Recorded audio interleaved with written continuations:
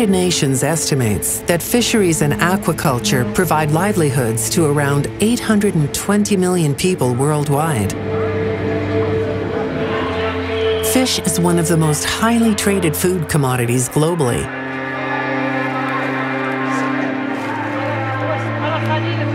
The UN also reports that the percentage of stocks fished at biologically unsustainable levels has increased from 10% in 1974 to 34% in 2017.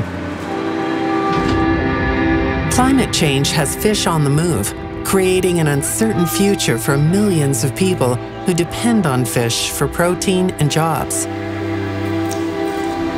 We need to transition to sustainable fishing and aquaculture that benefit people and the ocean alike.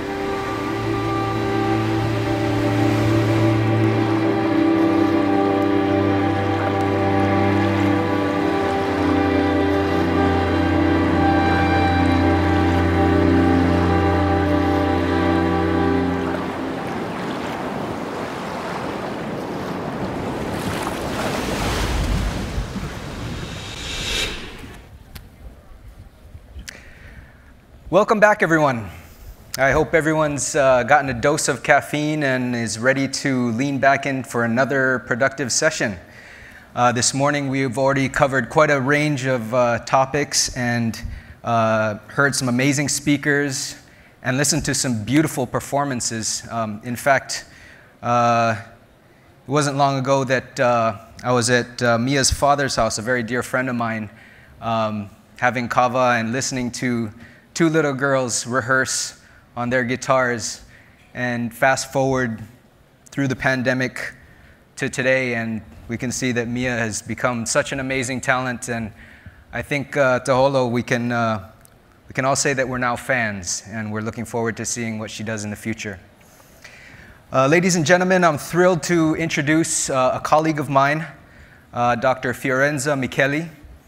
Amongst other roles, she's the co-director of the Stanford Center for Ocean Solutions. Dr. Micheli has led a huge diversity of research from small-scale fisheries sustainability to the impacts of ocean acidification on marine species. Uh, this work has taken her all over the world, from the Mediterranean Sea to the Chagos Archipelago and here to Palau. Dr. Micheli, welcome.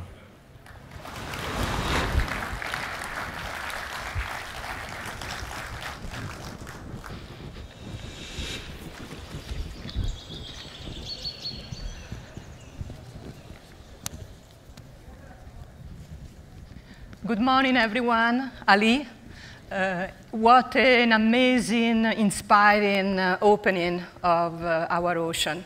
Uh, it's re really a great honor to be here and to introduce and moderate uh, the next panel, which will focus on advancing sustainable fisheries.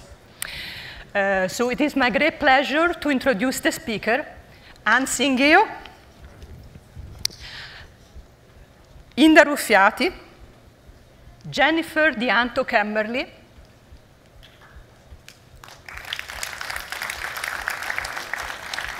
Shek Sherif, and Rocky Sanchez Tirona.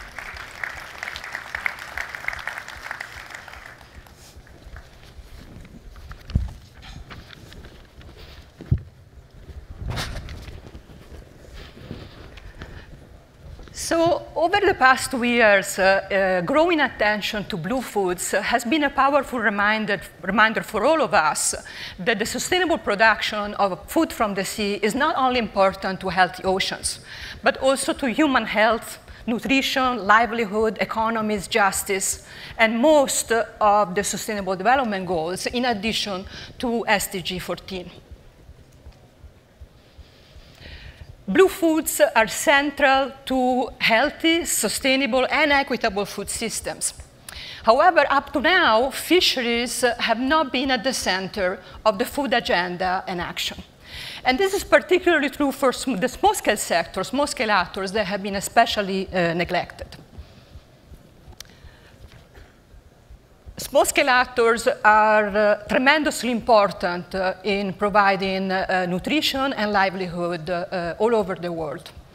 Uh, they employ 90% of the men and women in the fisheries and aquaculture sector, which supply chains uh, offer jobs for over 800 million people, as we, as we heard. They produce over half of the catch and over two-thirds of what is consumed uh, by people around the world. And if managed well, they have great potential to uh, have low environmental footprint, while at the same time providing for livelihood, nutrition, and advancing the inclusion of women and indigenous communities' rights. However, small-scale fisheries are facing a range of threats and challenges. Uh, resources are overexploited, habitats are degraded, heat waves have disrupted production, and then the pandemic has disrupted the supply chain. And often, uh, uh, the small-scale actors don't have access to the resources that are needed and don't have a voice in governance and decision-making. And this is particularly true for indigenous communities and women in too many parts of the world still. And also, uh, there's also limited data on small-scale fisheries, and this makes effective management very difficult. So going forward, um, there is an imperative to uh, have initiatives and action that is focused on advancing sustainable fisheries and a vibrant small-scale sector uh, within that. Uh, this is particularly urgent for um, island states around uh, island states, which are extraordinarily reliant on ocean and ocean resources, uh, and also have an important role in leading action in conservation and ocean sustainability, and have strong connection with ocean resources, as we heard from panelists and, uh, and speakers before us. Uh, so going forward, there's an opportunity to and a need really to support uh, uh, initiatives and partnerships that uh, uh, are focused on supporting ocean conservation um, around the around across island nations to achieve the, the linked goals of biodiversity conservation, but also human health, livelihood, and also equity and, and justice as well as food and nutrition. So it is my uh, absolute pleasure to introduce uh, our speakers today. Um, they, um, they, each will highlight uh, the challenges, opportunities, and solutions for, for uh, advancing a sustainable fisheries sector. And uh, I'm uh, very pleased to call to the stage our first speakers, Ann Singeo, who's Executive Director of Ebiil Society uh, here in Palau. And the floor is yours.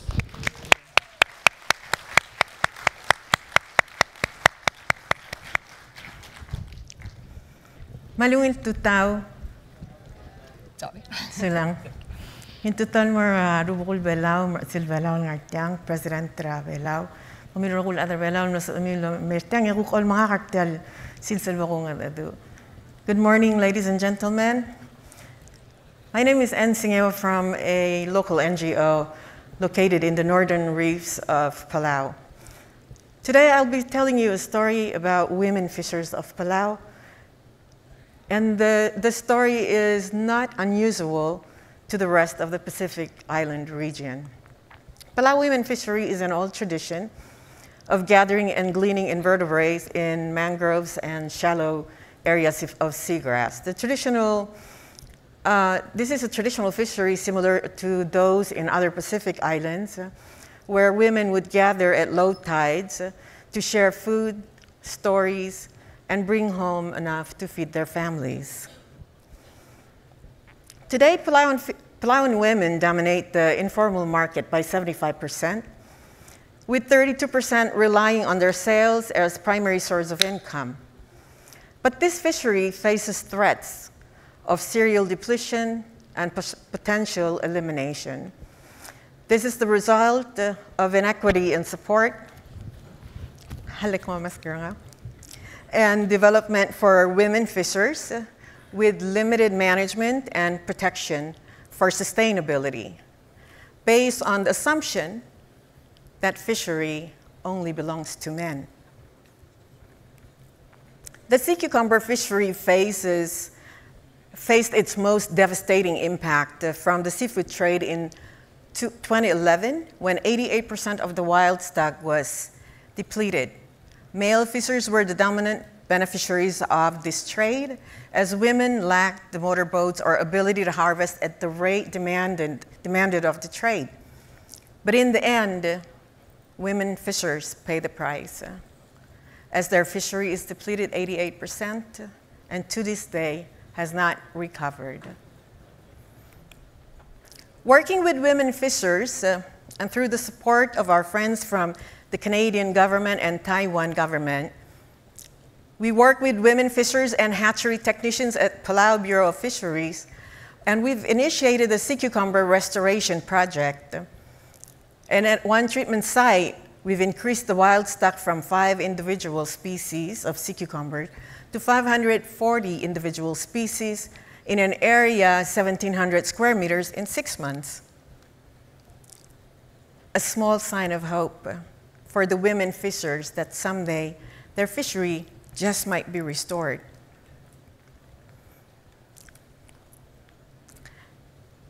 Ladies and gentlemen, we must commit to restoring and protecting seagrass meadows of the world, one of the world's largest carbon sinker, able to store 10% of the world's carbon faster than a tropical forest, and allow important women and girls' fisheries to thrive, old traditions to thrive, and this iconic endangered species like the Palauan dugong to survive and increase our island nation's ability to recover from the damaging impact of climate change. Because from this end of the community, the struggle has never been about money, but it's about ancient traditions, knowledge, passing it on to the next generation. Making sure that we have fish on the table for our families, it is about the sacredness of the ocean. It is about balance. So I ask you if you're going to do something about this today, do it for equity. Do it for social justice. Do it for environmental justice. Do it for us. Thank you. Oman Masulang.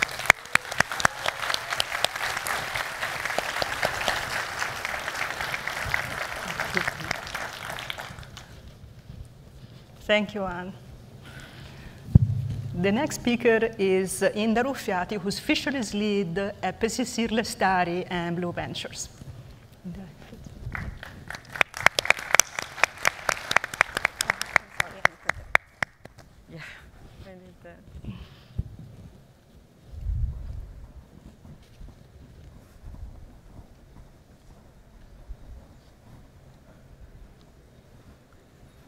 Good morning, everyone. It's a great opportunity to be here.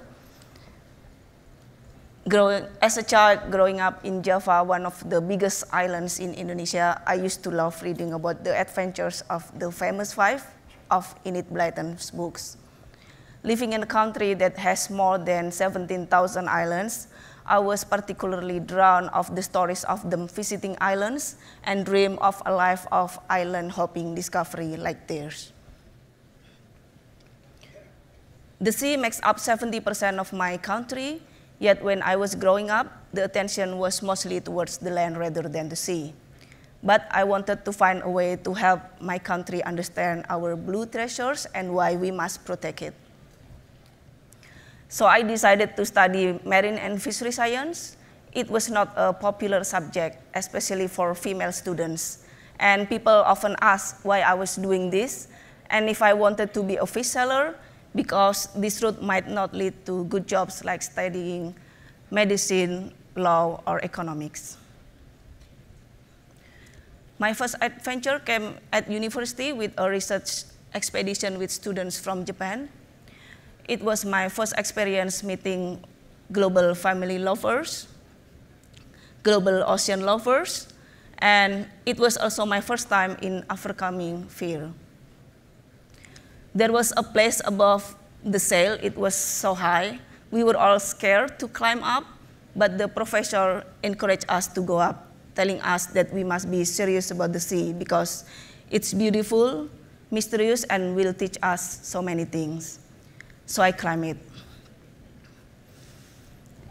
When I go up, I remember feeling that I was no longer afraid of anything and that I could achieve anything that I want. After graduating, I joined a research trip in Maluku in a small island called Haruku. One week before we were due to leave, my friend told me that he could no longer go. I wondered whether a girl from Java could go and do this work alone. I felt the fear, but I did it anyway. I went quickly from being a stranger to being part of the community that treats me like family and now sings a song to me every time I go back to the island. In 2018, I worked with Blue Ventures, an NGO that supports community-led fisheries management and conservation. We empower the communities to collect data on fisheries and using the data for them to manage the natural resources so that it will be sustainable for generations to come. Climate change affects fisheries it changes fish behavior, increasing sea temperature stress critical habitat like coral reefs. But I believe that the communities have the solutions. Participatory monitoring, where the communities collect the data on habitat, on their fishing activities, their income, empowers the community to engage in observing the trend and change in their fisheries and using the data to make informed decision for fisheries management. I'm also an artist, and the sea inspires my paintings. As you can see, this is my paintings, and I'm never far away from the sea. At the moment, I also support communities in Philippines and Papua New Guinea because I want to be a leader beyond my country. I want to inspire more girls and women to learn about marine biology, fisheries, and conservation because we know we can do it and we can do it better.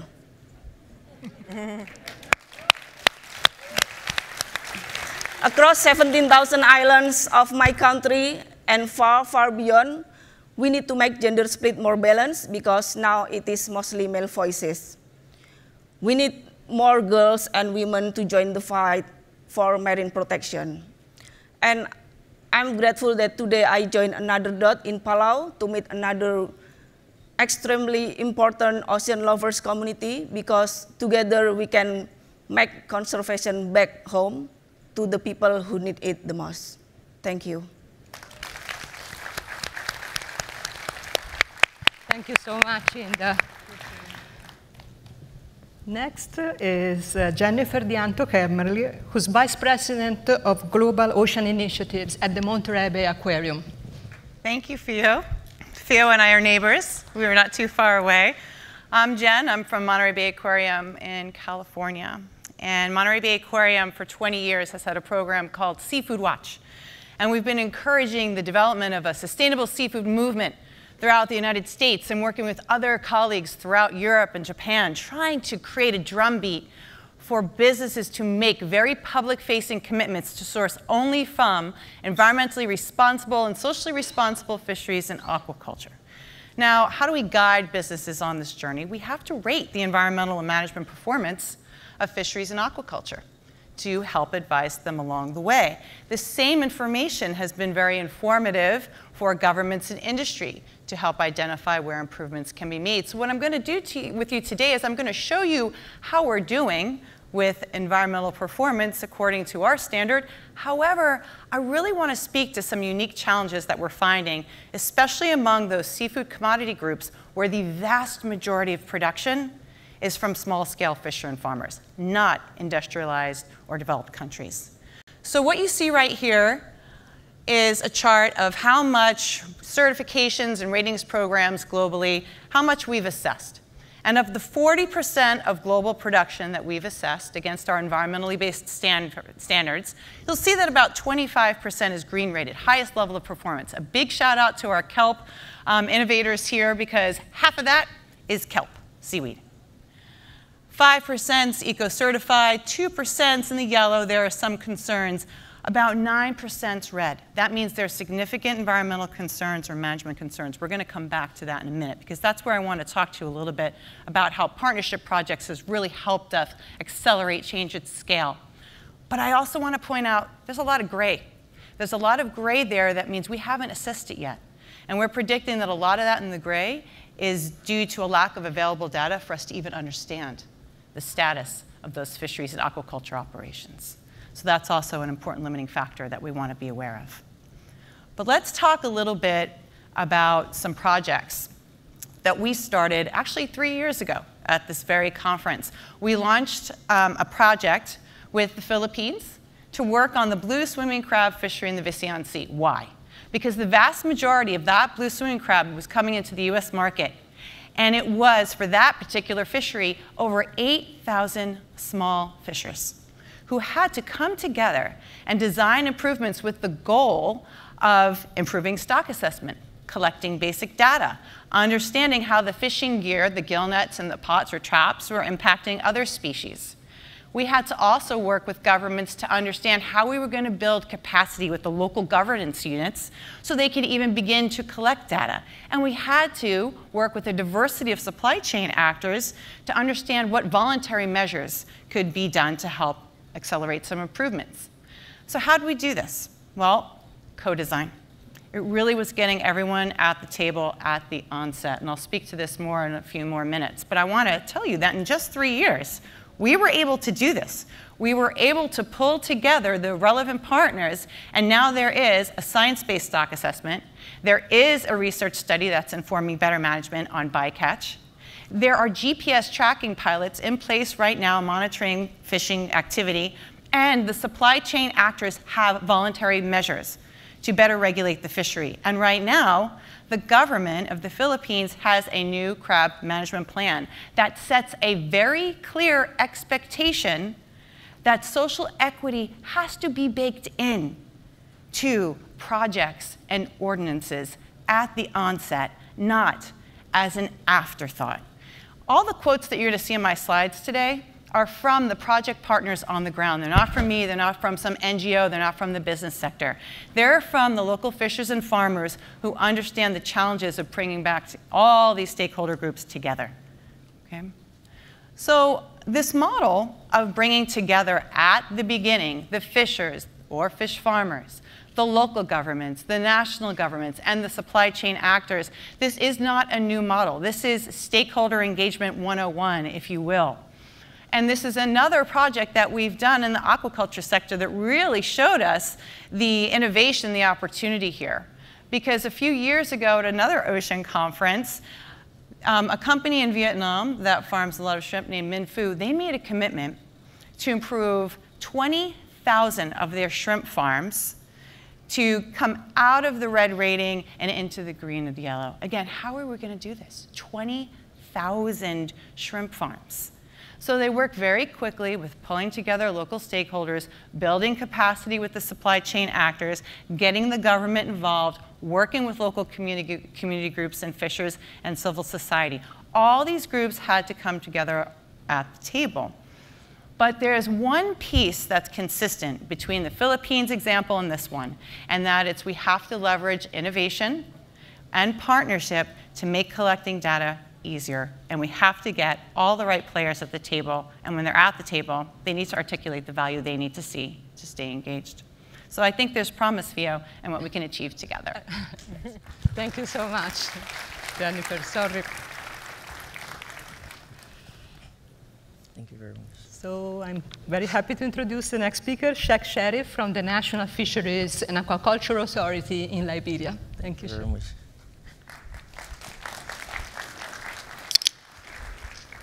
Ali, Ali, um, good morning. Hello, everybody. Um, fisheries management ensure the integrity of the marine environment and the livelihood that depend on them remain stable. My name is Sheikh Sherif. I'm from Liberia, a small West African state that has been living effective fisheries management for the past seven to 10 years. Well, I, I'm going to be talking a bit about um, my experience with the West Africa Fisheries Project and data collected over the years from the 10 or uh, 9 participating countries. Um, you, we all know that uh, over 80 million tons of uh, uh, over uh, 80 million tons of fish is being harvested annually, and 33% of those are overfished, and 67% uh, are overexploited. Now, uh, Mauritanian, sorry, that's the French uh, spelling for Mauritanian. If you see the, uh, the, uh, chart out here, there's a variability between the declared and estimated average, which is around 30, 13,000 tons. And the 13,000 ton, if you look at the average of the industrial demersal trawl catch estimates, that average, I mean, versus what has been declared by these vessels fishing, I mean, comes up to around 13,000 tons. And that is a serious variability and disparity when it comes to um, the fisheries. Now, Liberia has been leading um, sustainable fisheries management and uh, looking at the number of industrial trawlers licensed in 2017, which has been reduced now to six. There has been an issue about the stringent measures that have been put in place, policy regulations, legislative framework, especially when it comes to eliminating or reducing IUU fishing activities. Now, due to um, the, the effective management region of, or, or, of Liberia, um, there has been some inconsistency, especially when it comes to other countries, for example, Ghana. Ghana has been spending around 200 million each year to show up for um, um uh, importation of, um, of fish um, because IU fishing has also eliminated um, most of the fish sources. 10 years ago, the Ghanaian fishermen and the Ghanaian fisheries was quite more effective, was quite more prosperous. Um, but unfortunately now, the Ghanaian president and uh, the presidency um, uh, or the members of parliament have been showing up 200 million plus to ensure that they close up the gap for um, uh, ensuring that the importation of fish to um, uh, ascertain the fisheries needs or the protein needs for the country. Um, now, there, for the West African sub-region, um, there are several trawlers that are actually um, employed into the system. Um, these trawlers are licensed through a kind of a revised licensing regime for which of the, each of the country. These regimes are completely different from one country to the other. From the West Africa Fisheries uh, Project um, or experience, Liberia has, um, um, from the uh, beginning of the project, for example, in 2010, 2011, um, a moratorium was put on the fisheries, which gave three months to draft a new fisheries legislation that would give provisions, new licensing conditions for effective monitoring, control, and surveillance. And that led to the establishment of the Fisheries Monitoring Center, um, uh, vessels monitoring application system with mobile transceiver units on licensed vessels, automated identification system, and other forms of uh, uh, ocean viewing software. Unfortunately, most countries in the region are not going to be funding data collection or MCS enforcement. It's for a simple reason. Most of the agents for these foreign vessels or foreign trawlers are members of parliaments, which is a huge influence, especially when it comes to pocketing money from the fisheries. So these are the different types of trawlers, the stern trawlers, which are the back trawlers, or these um, side trawlers that are employed into the fisheries. It is not about them being employed into the fisheries, how many of them, and whether they are legal, yes, of course, but they are unreported and unregulated. When we say a fisheries is being overfished or something illegally has been done, which means that you have um, an, um, a regulation that is related to a fishing um, or a fishery um, that has been violated. Now, um, this is just a very uh, a, a snapshot about uh, the different types of vessels. The percentage there are vessels that are from uh, that are Asian origin, whether from South Korea, whether from China.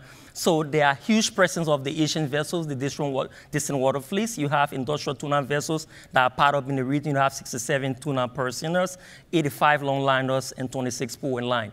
Now, evidence of overfishing. Um, this is the situation with the activities of these trawlers. There's always a situation that over half of the fisheries that are put on these uh, vessels are returned back to sea. And what happens when you return these unsustainable practices or non-selective fish species or juvenile species back to sea? They create hypoxia or anoxic conditions that reduces the um, dissolved oxygen level in these waters that affects the um, fisheries generally, the biological side, so sometimes it enables them or ha have them living from one place to the other. So um, I'm going to skip. Um, so this is um, um the white in the bracket, uh, those are the number of canoes, and you have the yellow in the, um, the different maps, those are the number of production. So artisanal estimates is approximately um, 960,000 tons, and that is, uh, I mean, for the last couple of years uh, from experience with the project.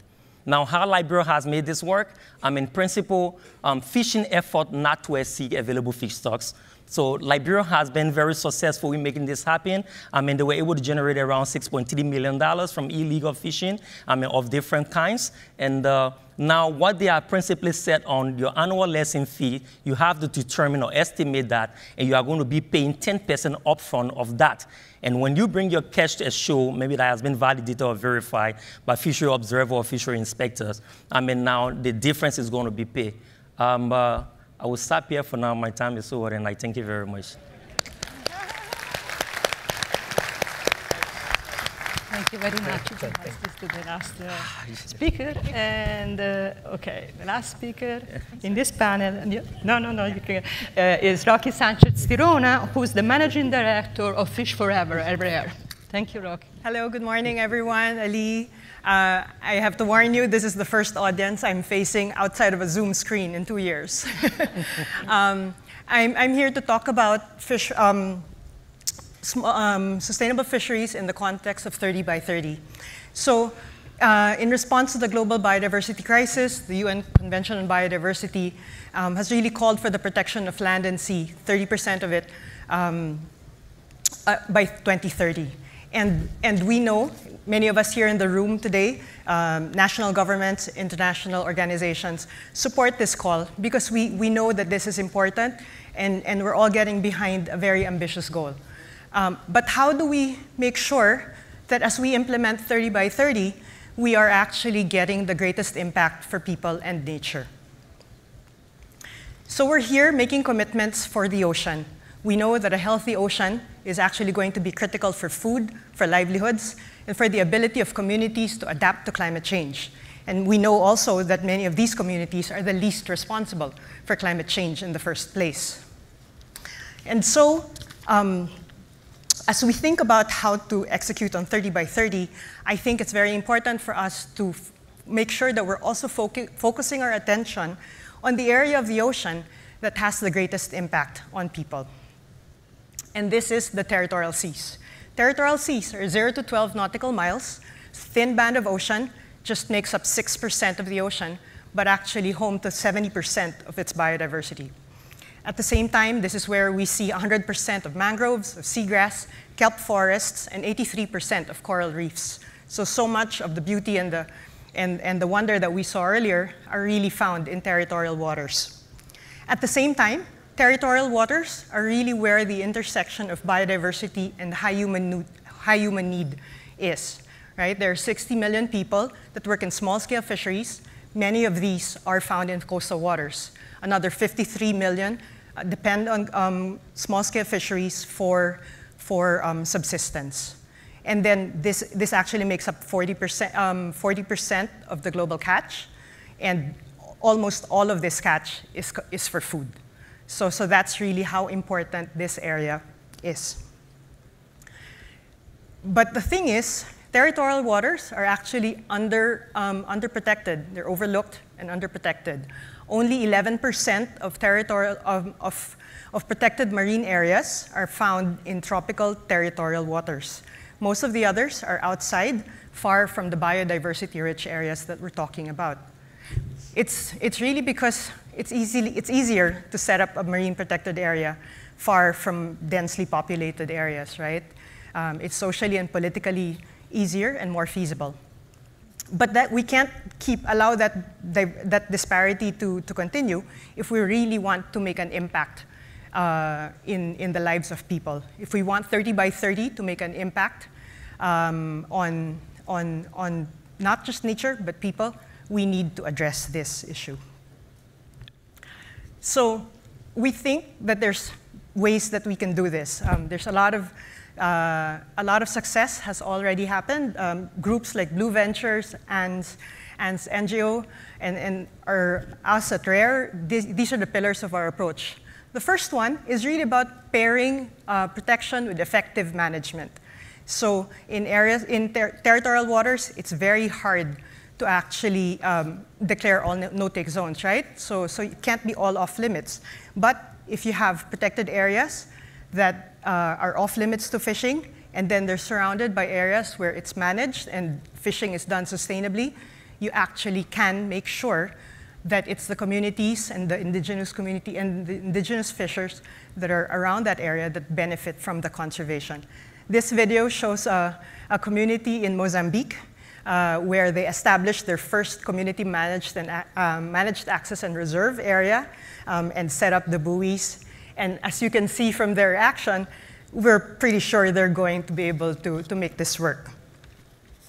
Um, and then another piece is really bigger is not always better.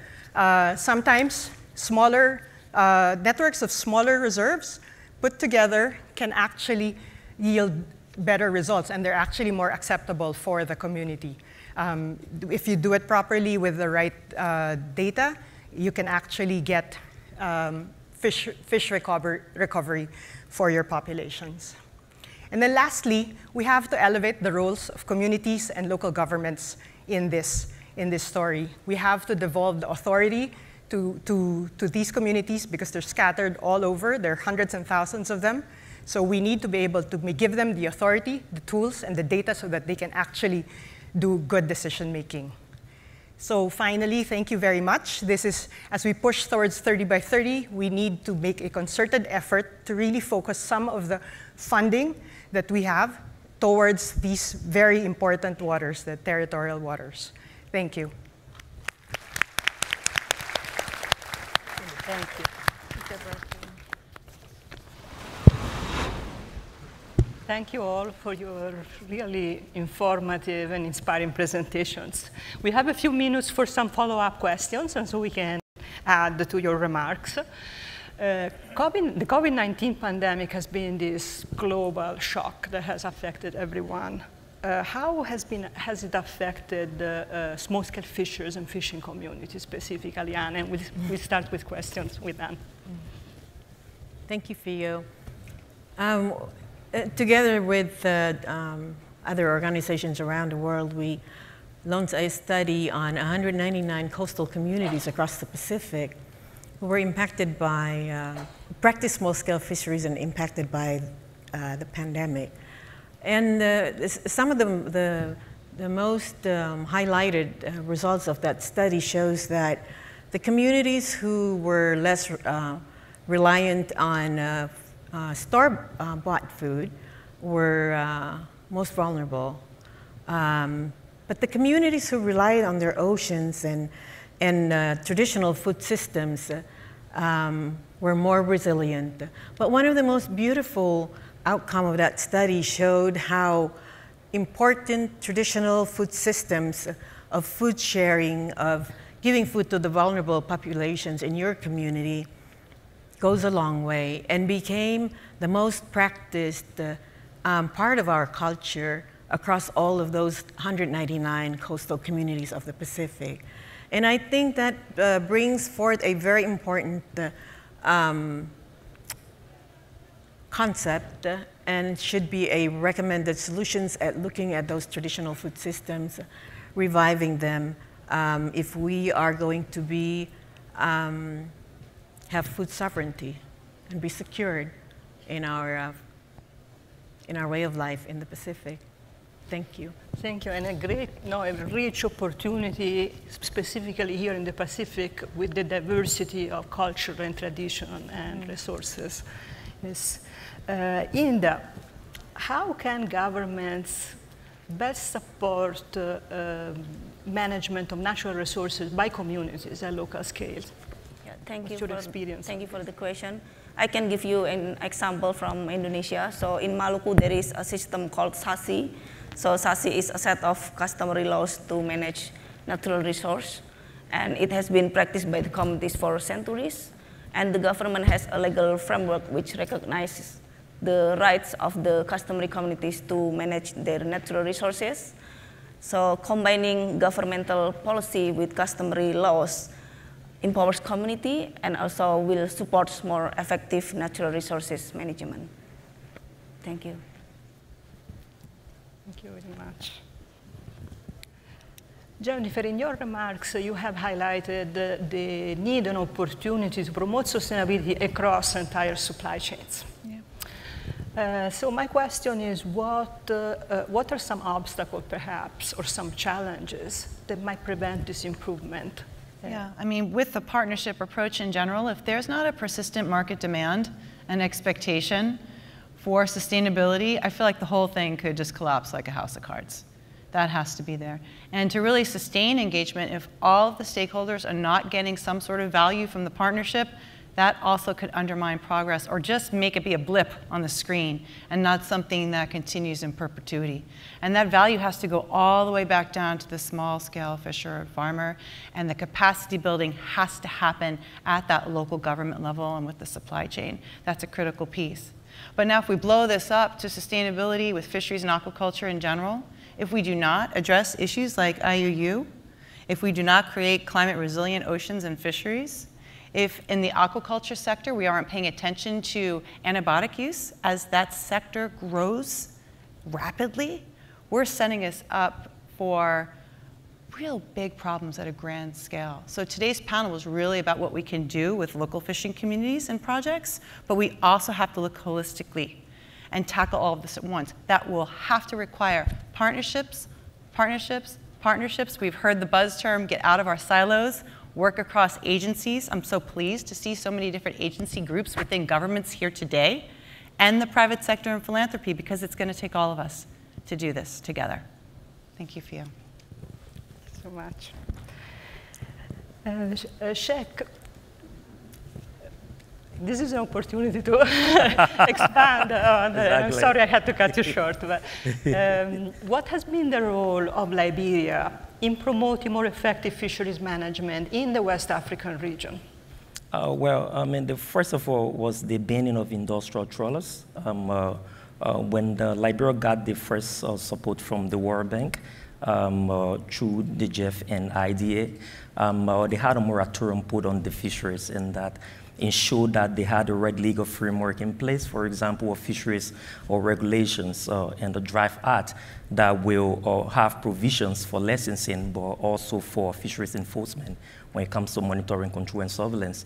And uh, because Liberia, since the 50s, 1956, I mean, there was this uh, natural resource law that governed the fisheries and other marine uh, protected areas and resources. So the project intervention um, uh, created a space to have uh, this drafted. And, uh, um, and next to that was the establishment of the state-of-art uh, fisheries monitoring center that had ocean viewing softwares, for example, the vessel monitoring system, that uh, um, also a condition for licensing for these vessels before you are given a license, besides the, the inspections and, and the rest of the, the list, the standard operating procedures. You should have a vessel monitoring uh, system on the vessel.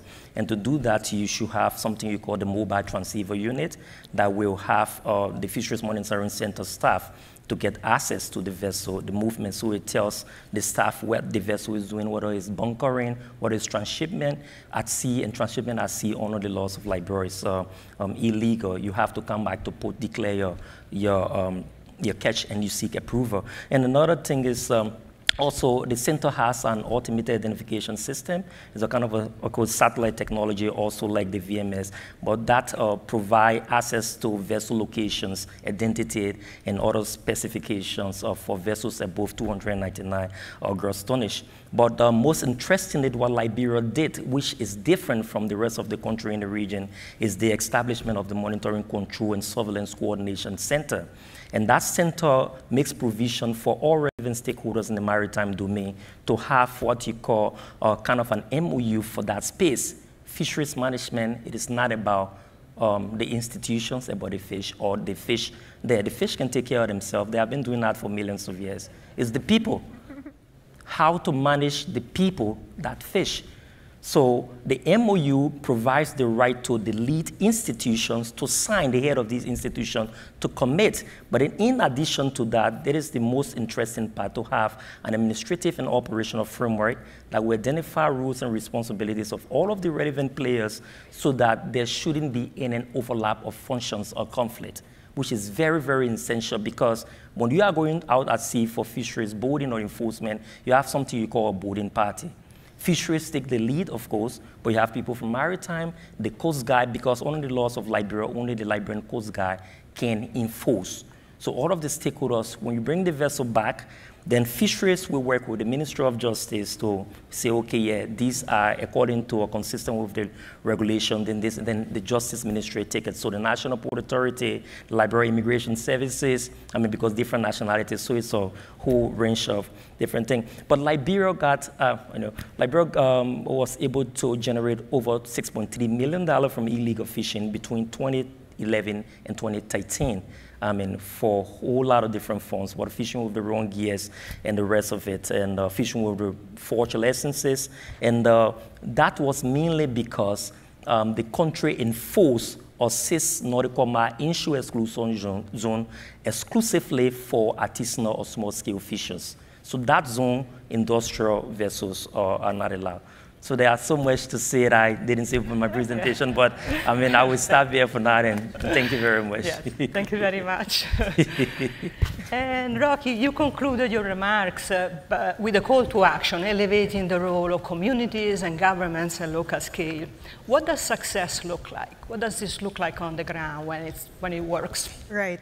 So I think when we're able to give communities and local governments the, the right information and knowledge, um, and we're able to bring both um, marine and, and social science to a, to a place where they can actually use it and adapt it to their own context. And then they make their, their own decisions and, and really adaptively manage it as, as the conditions need. They get really good at even tapping resources from, from national government agencies. They're able to, to, to understand what they need each year and, and then build that in. So, so I think over time they really own it, and, and that really becomes, uh, you know, that it, they make sure that it succeeds and it works and it's theirs, and we can get out. And, and yeah. So uh, please join me in a round of applause in thanking the speakers on this panels.